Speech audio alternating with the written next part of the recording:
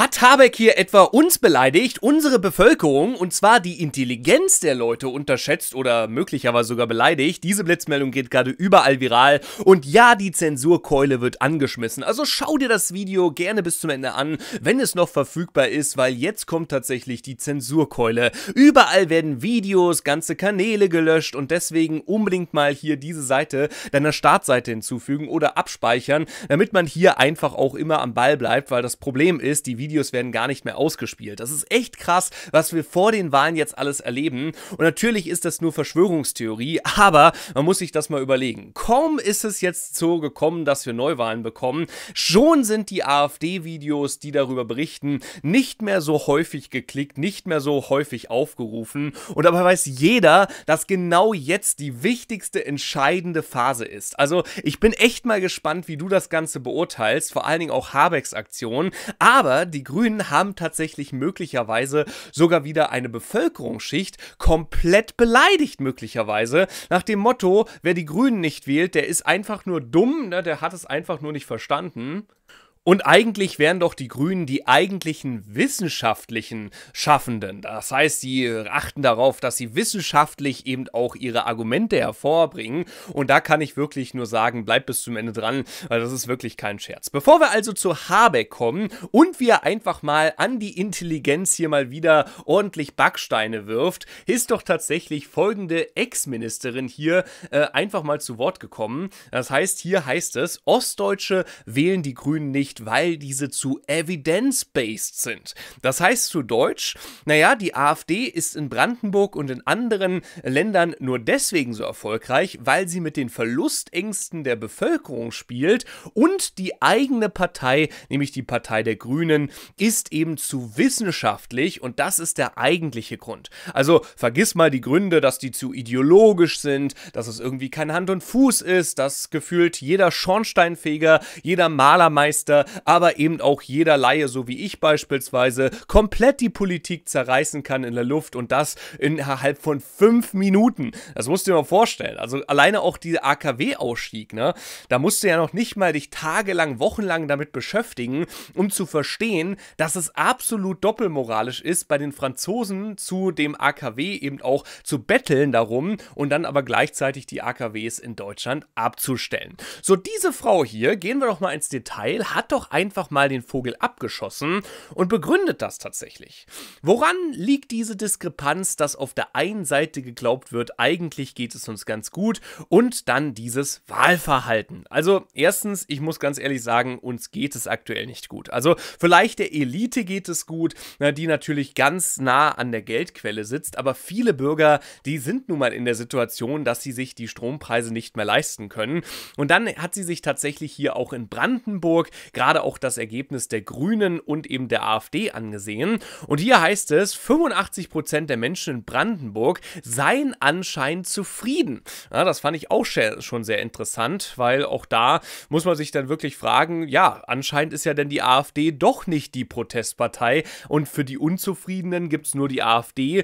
Und wenn man sich die Ergebnisse in Brandenburg ansieht, weiß man natürlich auch, dass hier die AfD mit eines der Wahlsieger war. Ich glaube, es es herrscht im Angst, herrscht Angst im Land, heißt es hier. Es herrscht eine ganz große Verlustangst, heißt es weiter. Und im Hinblick auf über 40 Prozent für BSW und AfD hat sie hier eben auch das Ganze alles auf diese Ängste zurückgeschoben. Und ich muss ganz ehrlich gestehen, die Grünen sind doch die eigentlichen Angsttreiber. Ich meine, wie viel Angst willst du denn der Bevölkerung eigentlich äh, verbreiten und unterjubeln, wenn du immer wieder betonst, wenn wir jetzt nicht umlenken bei dem dem Thema Umwelt, dann werden wir alle bald nicht mehr da sein. Also ich glaube, da kannst du wirklich, das, das ist ja wirklich die Inflationsangst oder die Enteignungsangst ist ja dann deutlich geringer ausgeprägt als dieses permanente hysterische, wir werden alle sterben, wenn wir dem Umwelt nicht huldigen, äh, der Umwelt. Und wisst ihr, was das einfach so lustig macht? Und ich glaube, die Grünen wissen gar nicht, wie wissenschaftlicher Humbug sie da betreiben. Es ist tatsächlich so, dass die CO2-Belastung in den letzten letzten Monaten sogar stark angestiegen ist. In den letzten drei Jahren wohlgemerkt. Das heißt, dort, wo ja eigentlich die Grünen in der Regierung sitzen, hat es nicht funktioniert, ihre Strategien. Und die wollen uns aber sagen, wenn ihr was für das Thema Umwelt wollt, dann investiert eure Stimme in unsere Partei. Aber dabei habt ihr es doch jetzt schon nicht hinbekommen. Also warum? Und ich bin jetzt ganz ehrlich, ich bin jetzt nicht unbedingt dafür, die Umwelt zu schädigen. Und ich würde mich jetzt nicht als grünen Umweltfanatiker bezeichnen. Das heißt, man sollte schon auf die Umwelt achten. Aber ich werde alles andere als grün wählen, weil dann habe ich ja Krieg. Dann habe ich ja im Endeffekt den ganzen CO2, der da durch die Munition durch die Luft geknallt wird. Na, da werde ich einen Teufel tun, euch zu wählen. Also wissenschaftlich hier um die Ecke zu kommen und auf der anderen Seite Grundprinzipien der Grünen über Bord zu werfen, das ist ja mal wirklich entweder eine Veräpplung und eine Beleidigung an die Intelligenz oder ist es einfach eine komplette Selbstüberschätzung. Also gerne mal deine Meinung zu den Grünen in die Kommentare schreiben. So, und Habeck setzt jetzt bei dieser Ministerin noch eins drauf, denn der hat tatsächlich auch wieder mal gezeigt, dass er von Wirtschaft, wie soll es auch anders sein, relativ wenig Ahnung hat. Ich muss mich korrigieren, gar keine Ahnung hat, denn es ist tatsächlich so, dass du das mitbekommen hast mit Intel. Also Intel war ja tatsächlich unser Vorzeigeprojekt. Ne? Viele Milliarden hat anscheinend Intel hier als Förderung erhalten, damit sie hier eben Chipfabriken bauen. So ist das Ganze eben auch ganz wichtig für diese Halbleitertechnologie, dass man da eben nicht den Anschluss verliert. Und an sich wäre das ja eine tolle Sache. Allerdings ist dieses Intel-Projekt anscheinend komplett am Scheitern. Das heißt, es soll auch von mehreren Chip-Industrieunternehmen beispielsweise auch die Nachricht gegeben haben, dass sie äh, erst recht sich nicht in Deutschland niederlassen. Und jetzt will, obwohl Habeck das sieht, dass diese Halbleiterunternehmen teilweise wieder überlegen, ihr Standort zu verlagern oder eben nicht expandieren wollen, überlegt er trotzdem einfach mal weitere Milliarden investieren zu können. Ja, da frage ich dich an dieser Stelle, was ist denn da eigentlich wirklich der Hintergedanke? Hat Habeck vielleicht nicht nur Greichen, sondern vielleicht irgendwie noch ein Halbleiterspezialist in der Familie oder in der Verwandtschaft oder was soll ich mir darunter jetzt vorstellen? Also, wie kann ich so gutes Geld schlechten Geld hinterherwerfen und mich damit auch dann noch wirklich vors Publikum stellen und so tun, als wenn das alles toll wäre? Und habt ihr es mitbekommen, das war schon vor wenigen Wochen, war das die Nachricht des Tages, ja, da hat Habeck dann auch noch groß beim Gaming-Sektor, ne? da hat er irgendwelche Spiele, hat er da irgendwelche gefördert für Millionen, wo ich mir auch gedacht habe, Mensch, hat Habeck jetzt etwa einen Sohn oder was weiß ich oder einen Neffen,